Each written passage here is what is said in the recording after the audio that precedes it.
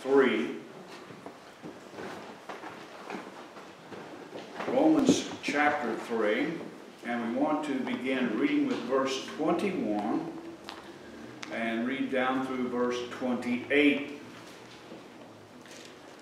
uh, to get as much of this context as we can for our thoughts this morning. It says, But now the righteousness of God without the law is manifested, being witnessed by the law and the prophets, even the righteousness of God which is by faith of Jesus Christ unto all and upon all them that believe, for there is no difference. For all have sinned and come short of the glory of God, being justified freely by his grace through the redemption that is in Christ Jesus, whom God has set forth to be a propitiation through faith in his blood to declare his righteousness for the remission of sins that are past through the forbearance of God, to declare, I say, at this time, uh, his righteousness, that he might be just and the justifier of him which believeth in Jesus. Where is boasting then? It is excluded by what law? Of works. Nay, uh, nay, but by the law of faith. Therefore we conclude that a man is justified without the deeds of the law. I want us to uh, look this morning in the statement in verse 24, uh, which gives us the, the thought for our message. Being justified freely by his grace through the redemption that is in Christ Jesus. And we want to talk to you this morning on the subject of the freeness of salvation the freeness of salvation. Now, the word freely that is used here, uh, the Greek word, at 1432, dorean, means without a cause, freely, for naught, in vain. In the Gospel of John, verse 5, or chapter 15, verse 25,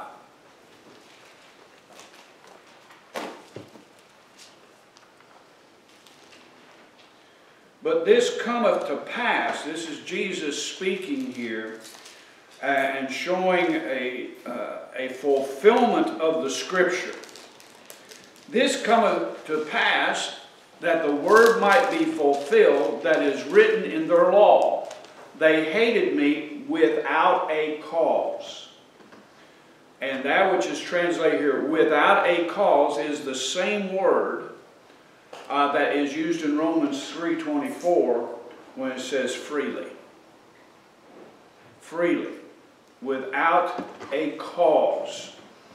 Uh, he said that the word might be fulfilled. And that word in Psalms uh, 35.19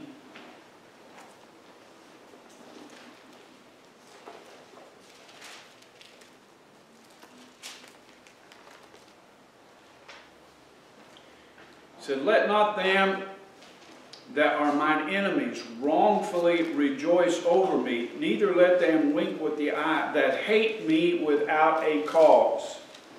And so here was a, a prophecy uh, in Psalms, and how many times, uh, you know, Paul referred to David, he was a prophet, and he prophesied this of the Lord Jesus Christ. He said, They hated me uh, without a cause. Also, um, Psalm 69 4. Again, he said, That they hate me without a cause are more than the hairs of mine head. They that would destroy me, being mine enemies wrongfully, are mighty. Then I restored that which I took not away. They that hate me without a cause. So that the word that was written in their law, talking about the, the Jews, they're the ones who, that Jesus had given them no cause that they should hate him. They hated him freely. You know. And that is the idea here that we are justified freely He does it freely. The, we gave him no cause that he should justify us. Uh, but uh, we are justified freely. We do nothing to justify God saving us, but it's freely by His grace. Being justified freely by His grace. And, and so that's a double a statement there because grace means unmerited favor. And so we want to look at uh, some things here this morning. like to discuss the freeness of salvation. It is without cost, without price to us. Now, our first point this morning we'd like to look at is, first of all, man's natural resistance to grace. By nature, man resists the idea that God just freely gives us salvation. You know, and, and there's a, an old saying, you know, and, and this comes from man's attitude. Nothing's free. We have that, nothing's free. But when it comes to God saving us, and it's not free, it cost God. It cost him the life of his son. There was a price, but it is not a price that you and I have to pay. In 2 Kings,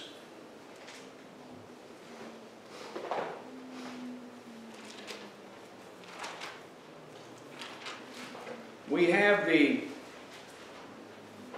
chapter 5, 2 Kings chapter 5. We have an account of, and I believe it's an Assyrian, or Syria. Syria was constantly warring with the northern ten tribes of Israel. And in the course of this constant warring, prisoners were taken. And so there's a young Jewish girl that had been taken captive and is serving in the household of one Naaman. 2 Kings chapter 5, verse 1. Now Naaman, captain of the host of the king of Syria, was a great man with his master and honorable, because by him the Lord had given deliverance unto Syria. He was also a mighty man in valor, but he was a leper. And the Syrians had gone out by companies and had brought away captives out of the land of Israel a little maid, and she waited on Naaman's wife. And she said unto her mistress, Would God my Lord were with the prophet that is in Samaria, for he would recover him of his leprosy. And one went in and told his Lord, saying, Thus and thus said the maid that is of the land of Israel. And the king of Syria said, Go to, Go, and I will send a letter unto the king of Israel. And he departed and took with him ten talents of silver and six thousand pieces of gold and ten changes of raiment. And he brought the letter to the king of Israel, saying, Now, when this letter is come unto thee, behold, I have therewith sent Naaman my servant to thee, that thou mayest recover him of his leprosy. it wasn't the king in Israel that was the prophet. It wasn't the king that was able to do this. Uh, and it came to pass when the king of Israel read the letter that he rent his clothes, said, Am I God to kill and to make alive, that this man does send unto me to recover a man of his leprosy? Wherefore consider, I pray you, and see how he seeketh a quarrel against me. You know, so the king was upset. He thought this, he's just trying to pick a fight here. He's sending me an impossible task to do. Um, and it was so when Eli, Elisha, the man of God, had heard that the king of Israel had rent his clothes, that he sent to the king, saying, Wherefore hast thou rent thy clothes? Let him come now to me. and he shall know that there is a prophet in Israel. So Naaman came, and here, you know, here is the mindset. He is a mighty man, a mighty man of valor, a mighty man of war. He is a noble. He is uh, next to the king of Syria. And this mindset, and so he, he was sent with the silver and the gold and the raiment to purchase this great deliverance from leprosy. And so here Naaman, and he has a large entourage, of course, that accompanies him. Uh, Naaman came with his horses, with his chariot, and stood at the door of the house of Elisha. Now you have to understand, now he's made this journey all the way from Syria down to Samaria. And there is always, in, in the mind of man, we have our preconceived notions as just our nature. And Naaman, of course, and that preconceived notions are, forged by our experiences and those things that we are exposed to, those things that we experience uh, in the world. Naaman was not free of this fault, and neither are we. It's part of human nature. And Elijah sent a messenger unto him, saying, Go and wash in Jordan seven times, and thy flesh shall come again to thee, and thou shalt be clean. And Naaman was upset. I mean, he, he was more than a little disappointed. He became very angry. Says he was wroth. But Naaman was wroth and went away and said, Behold, I thought you see, now here's where he reveals uh, some of that preconceived mindset that his worldly experience had prepared him and the expectations that he had.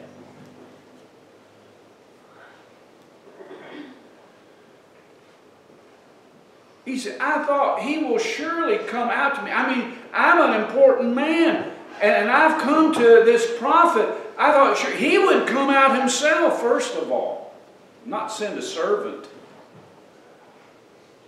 You know, what was it that Goliath said when, you know, am I a dog that you, you send this little shepherd boy out here to do battle with me? I thought you was going to send a champion out.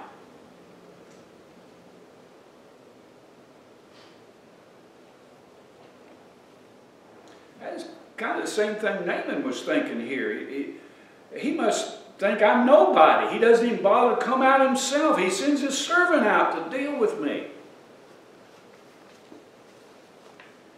He'd surely come out to me and, and stand and call on the name of the Lord his God and strike his hand over the place. And, you know, surely there'd be some kind of ceremony. There'd be some kind of hocus pocus, you know, done here. We all have certain ideas how God ought to do things. That's just human nature. Matter of fact, I, I want to do a message. Well, I had a, a, thought for a message, and as I was getting into it, I, it's going to have to be a series. I'm going to take a month and do this series on, on this one idea. But something of the fall, the effects of the fall, the corruption of our minds, and the way we, the expectations that we form in our own minds. The heart is deceitful above all things and desperately wicked. Who can know it? Well, he said, and so he start, he, and then he begins to do some Arnot, Abana, and uh, Pharpar rivers of Damascus, better than all the waters of Israel. And he wants me to dip in that old muddy, dirty Jordan River to be clean. We got better water, you know. Michigan, we boast uh, uh, the water up here. You know, pure Michigan. Well, that's kind of how Naaman felt about the, the, the waters up there in Syria as compared to Israel. It just did not meet up to his expectations at all in any way. So he turned and went away in a rage. I mean, he wasn't just angry, he was in a rage. And that's how man a lot of times reacts when God reveals to him God's plan of salvation.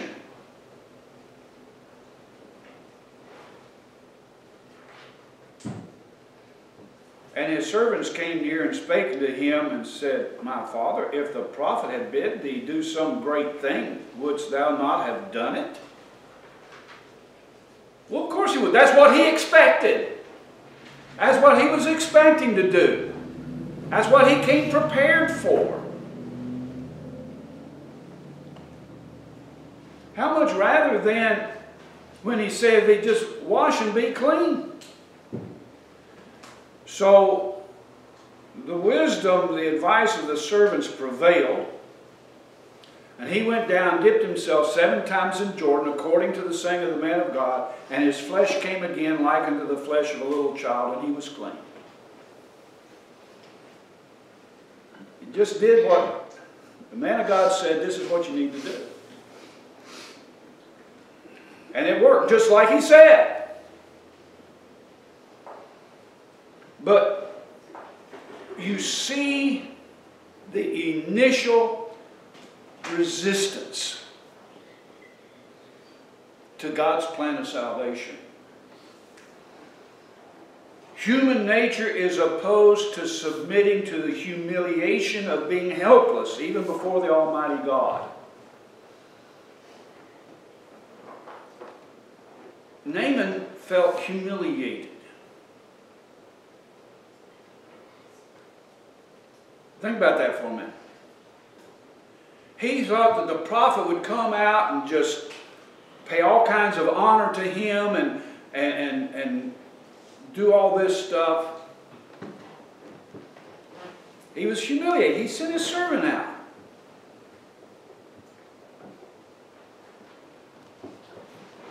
He didn't have to do anything. He didn't have to. There was no great price. There was no great act. Was no. He was humiliated. And that is the nature of man when confronted with his sin and confronted that you are completely helpless and dependent upon the mercy of Almighty God for salvation. There's nothing you have, there's nothing you can do, there's no price you can pay that you may obtain the forgiveness of your sins and eternal life. Man wants to cling, as did Naaman, to the notion that God needs man to do something in order that God may save him. And that's kind of at the root of what Naaman was thinking. He needs me to, I came prepared. I've got silver, I've got gold, I've got raiment. Whatever he asks of me, I'm ready to do. Except go dip seven times in the Jordan River. You see. Now, Jordan is symbolic of death. We've used it, and, and as a result of the centuries of teaching of Christianity, we have kind of come, you know, crossing Jordan.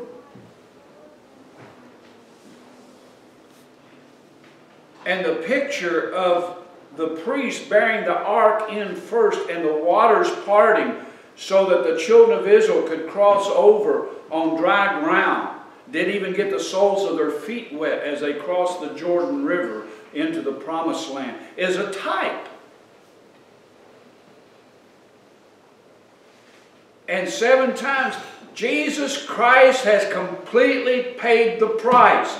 He died the death for our sins completely.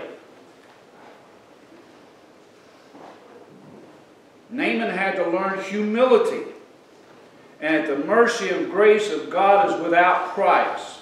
It is beyond any price that man might bring. And so God doesn't require. He does it freely. Because there's nothing you have, nothing you can do that can pay the price. And that's why his son paid the price for us.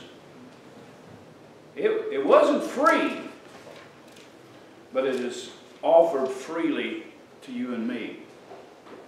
And that brings us to our second point man's inability to save himself. We kind of touched upon that, but if you look in Romans,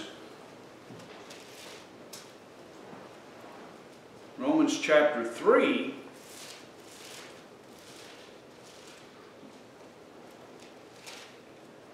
verse 10 through 12,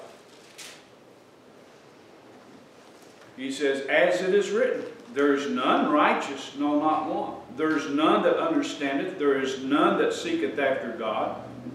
They are all gone out of the way. They are together become unprofitable. There is none that doeth good, no, not one. Well, aren't I an exception to that? No, not one. You see, there's none righteous, there's none that doeth good, there's none that seeketh after God. Man's inability. This is the verdict rendered by God in His Word. All have sinned and come short of the glory of God. You've already failed, you see. Some people think, well, there's a, chance here I can redeem myself. If I do enough good to outweigh the bad. No, the bad that you've already done has brought eternal condemnation upon you. And what you do cannot take that away. All have sinned and come short of the glory of God. Romans 5.12 Sin entered the world by one man, and death by sin. That was the sentence passed upon Adam and upon his posterity. And death is passed, and that word passed is speaking of the sentence that has been passed as a judge passes sentence. Death, the sentence of death has been passed by the judge upon all men, for all have sinned. So that, that sentence has already been passed. Man's already fallen in Adam and has himself sinned, thus bringing upon himself a just condemnation. God is just, and he's just to condemn man uh, for his sin. John 3 18 uh, through 21. Again, this is the condemnation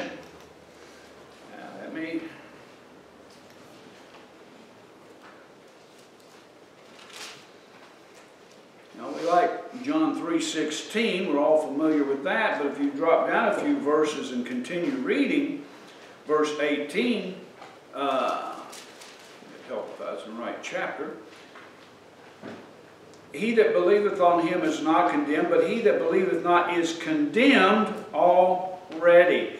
That, that sentence of death has already been passed. That's already been adjudicated the soul that sinneth, it shall die. They're condemned already because he had not believed on the name of the only begotten Son of God. And this is the condemnation that light has come into the world, and men love darkness rather than light because their deeds were evil. For everyone that doeth evil hateth the light, neither cometh to the light, lest his deeds should be reproved. Nobody likes to be told you are a sinner. You are unclean. You, in the eyes of God, are considered wicked, and God has pronounced His judgment upon you. Your, your ways have been condemned. Nobody likes to hear that. You know, you don't hear much preaching against sin and hell and, and these things these days. Why? Because people don't want to hear it. They don't want to come to the light. They don't want you bringing the light to them either. Because that's the nature. You need to understand that. So they're condemned already. Men love darkness rather than light. And neither do they come to the light. Uh, Romans 1 21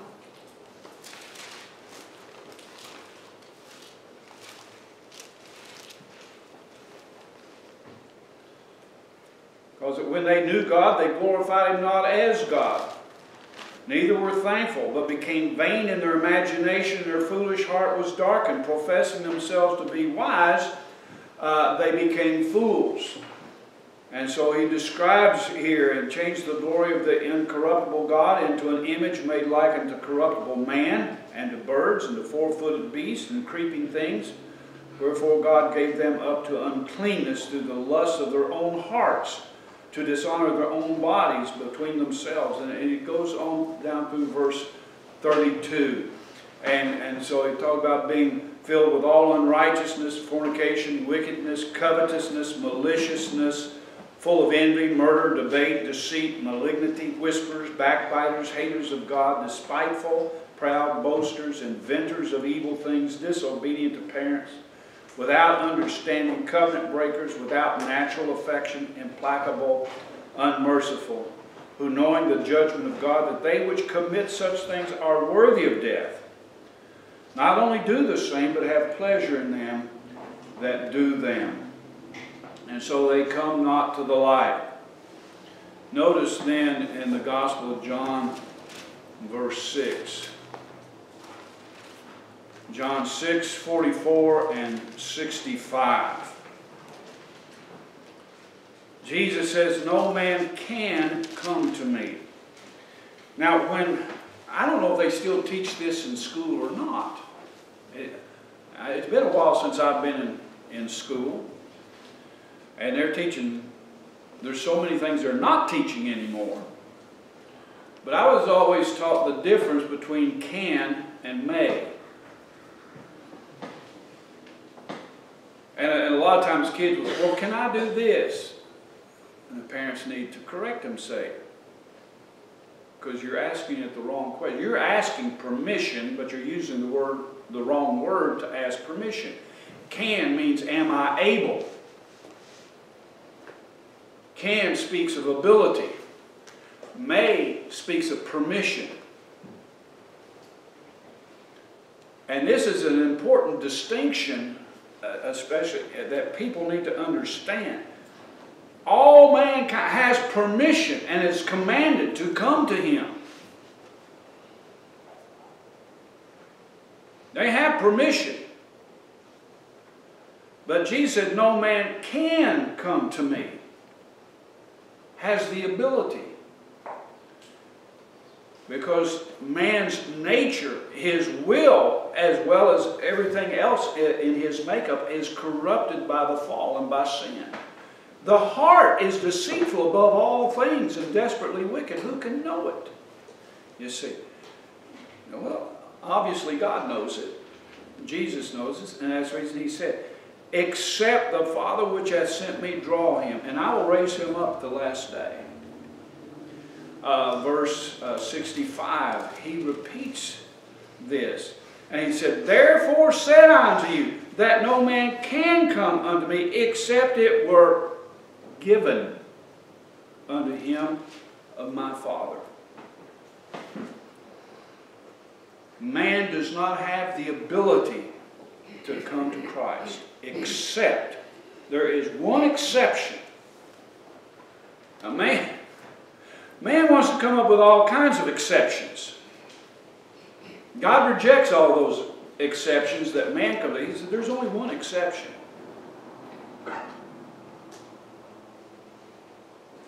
Given to me, given unto him of my Father. And so, back in John 3, He's talking about condemned already. Um,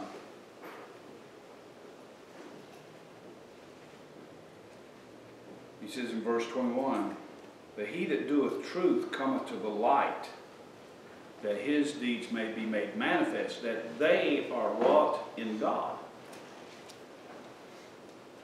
It is consistent with the scripture. Those who come, come to the light. It's manifest that their deeds are wrought in God.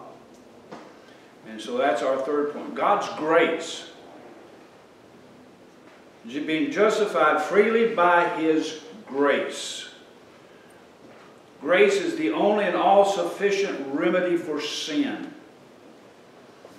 Ephesians chapter 2, verses 8 through 10 says, For by grace are you saved through faith. And that is not of yourselves, it is the gift of God. Now remember that exception clause in John? Except it was given to him of the Father. For by grace are you saved through faith. But we can't even boast in that. That is not from our ability. He said, but that's not of yourselves. That is a gift of God. Not of works. Not of anything that you and I can do. Not of anything, any price that we pay, any work that we do uh, in order to obtain salvation. We're justified freely by His grace. There's nothing that we can do. Not of works lest any man should boast, for we are His workmanship. Created in Christ Jesus. This is wrought in God. Unto good works. Now, once we're saved, know, it's God that worketh in you both to will and to do of his good pleasure. Know, you talk about, well, uh, what about my will? It's God that worketh in you both to will and to do of his good pleasure. The only way that we can do that which is pleasing to God is by his grace. And grace, the part of the idea of grace, grace is that which enables us because I can do all things through Christ. You know,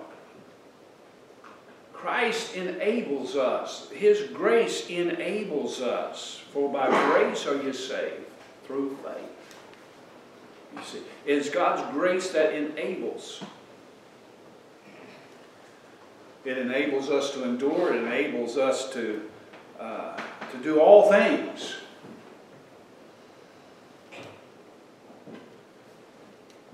given to us by the Father. Isaiah 55.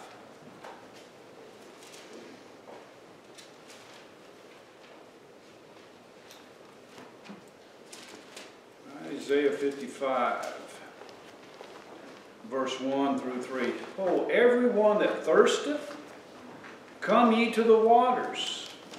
And he that hath no money, come ye, buy and eat. So, well, if I have no money, how can I buy?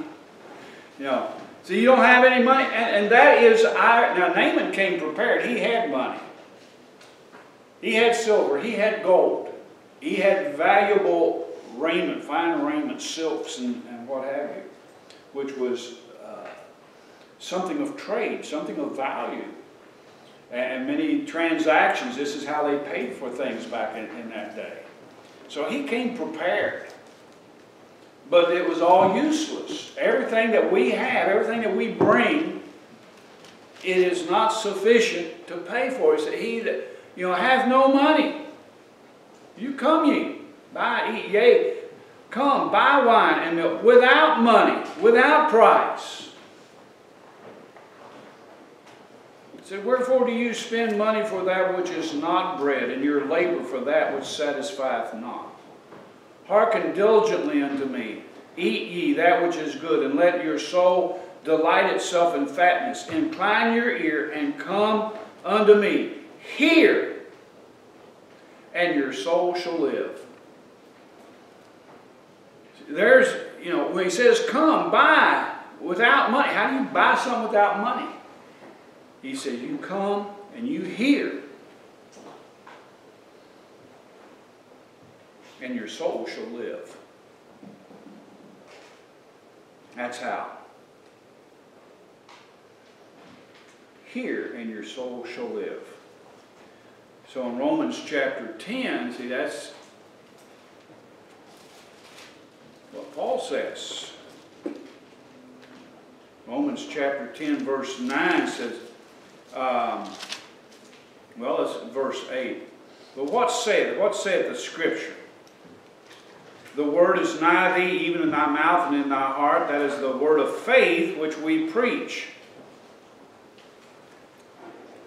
That if thou shalt confess with the mouth the Lord Jesus, and shalt believe in thine heart that God hath raised him from the dead, thou shalt be saved. For with the heart man believeth unto righteousness, and with the mouth the confession is made unto salvation. For the Scripture saith, Whosoever believeth on him shall not be ashamed. For there is no difference. And again, he, he gets back to, he said, there's no difference. Jew, Gentile, black, white, it doesn't make any difference. We're all the descendants of Adam. In Adam we all fell. We have all sinned and come short of the glory of God. There is no difference between Jew and Greek. For the same Lord overall is rich unto all that call upon him, for whosoever shall call upon the name of the Lord shall be saved. I thought you said, you hear and your soul shall live. Well, look at what Paul says. Whosoever shall call upon the name of the Lord shall be saved. How then shall they call on him in whom they've not believed?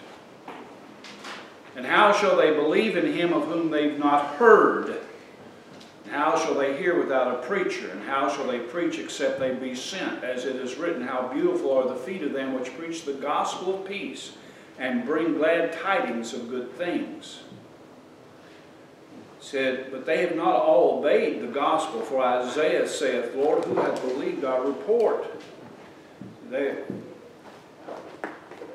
the good news, the preaching of the gospel, the preaching of Jesus Christ, that He died for our sins, that He gave His life a ransom for ours. And it's offered freely to us. And we're to receive that by faith. He said, you, Listen, give ear to what I'm saying. Hear, and thy soul shall live. And so that's what Paul is saying here. Verse 17, so then faith cometh by hearing, and hearing by the word of God. Faith, for by grace are you saved through faith.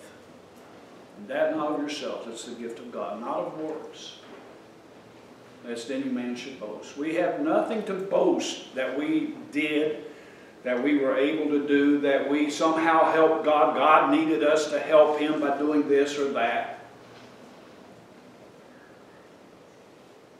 We're justified freely by grace, through His grace, through the redemption.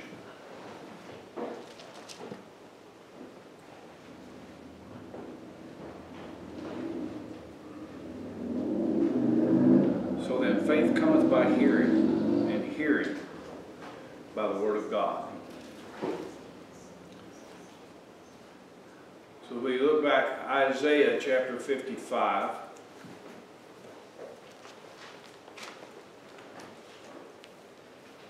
We drop down to verse 6 and, and 7. He says, Seek ye the Lord while he may be found. Call ye upon him while he is near. And so it, it says, Seek and call. Your only hope. And, and see, Naaman came seeking. He, he heard there was a prophet, there was one in Israel that could heal him of his leprosy, and he came seeking.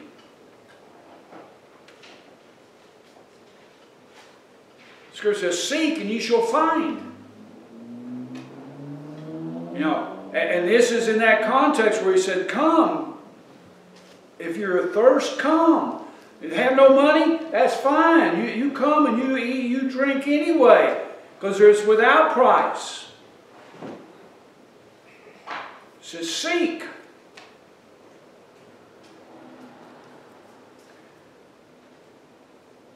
Now, I can only speak of my experience of salvation. Others will have to speak for themselves, but I remember, and I had sat under the preaching of, uh, of the Word of God for a, a while, and God had brought me under conviction.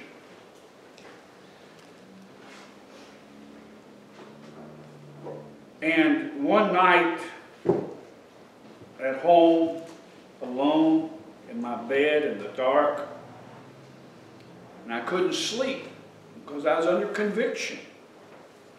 I knew I had sinned against God. I knew I was worthy of death. I knew I was under condemnation. That if I died, when I died, my soul would be in hell. And I had heard the gospel preached. And I remember one verse in particular that the pastor had used as John 6:37, all that the Father giveth me will come to me, and him that cometh to me I will in no wise cast out. And it was that second part of that verse that the Lord used. Him that cometh to me I will in no wise cast out. Seek him. You come to him. And you call upon him to forgive you of your sins. That's what he's saying. So now everybody that hears this, not all have, you know, believed the gospel. They've not all obeyed his word. But I admonish you, and I can promise you, by the word of God, if you will seek him, if you will come to him, and you will call upon him. That's why he says, call. Call out to him. Like the publican there in the temple, God be merciful to me, a sinner. God, you said you sent your son to die for my sin. I know I there's nothing I can do. There's nothing I have to offer you. But you promised that if I would come to you and, and call out to you for mercy, you sent your son to die for my sins, that you will forgive me of my sins and give me eternal life. And that's what I did that night. I called out to him. I basically, and this is kind of what the pastor taught, I just repeated back to God what God had said in his word to me. God cannot lie. He's made a promise. And the idea of faith is believing his promise. That if you will come to him and you will call out to him, he will forgive you of your sins. He will give you eternal life. He will make you his own child. That's all there is to it. And yet that is so simple and so easy that man thinks there's got to be more to it. There's got to be something I've got to do. They're like Naaman, the, the natural inclination of man's nature is to resist the grace of God. And to want to do something themselves. They resist humbling themselves and, and admitting their helplessness before Almighty God. Why is that so uh, humiliating when you compare yourself to Almighty God? He can certainly do more than I can. And then he says, forsake and return. Repentance and faith. That's what Paul said there in Acts. Acts chapter 20, verse 21. He said, I didn't hold back, keep back anything that was profitable unto you, but I taught you and uh, so on, said publicly in house. Repentance toward God and faith toward our Lord Jesus Christ. Repentance toward God is, is the idea of acknowledging my ways and, and trying to work for my salvation, trying to please you in some way so that you will save me. I'm, I'm forsaking all of that. I'm acknowledging that my ways have been sinful. My ways are not your ways. And I'm putting my faith and trust. I'm returning to you and coming to you in faith that Jesus Christ died for my sins. Forsake your ways, your works. You're trying to earn salvation, trying to do something. Realize you can do nothing. That's okay because Jesus has done everything. He paid it all. Just trust Him and receive from Him your salvation, which is offered to you freely. It's offered to you freely. All you do is receive it. You know, it's like someone comes up to you and has a gift in their hand and they just hand it to you. They, they hold it out to you. You don't have to pay for it. You don't have to do something. All you do is receive it. Take a hold of it. Take it to yourself. The last, very last book of the Bible, Revelation chapter 22, the last chapter, verse 17.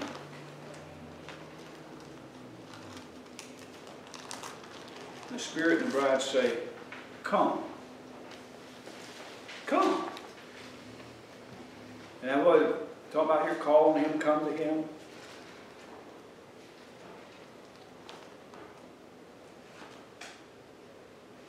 And let him that heareth say, Come. And let him that is athirst come. Well, he said there in Isaiah, if you're thirsty,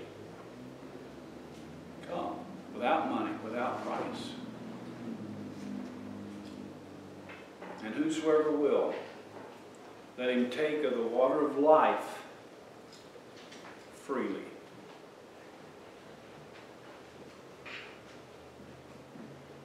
That sink in for. If you're athirst, if you desire to be saved, if you desire to have the forgiveness of sin, if you desire to have everlasting life, to be accepted of God and made one of His children, come. Take from His hand that which He offers freely. Whosoever will, him take the water of life freely.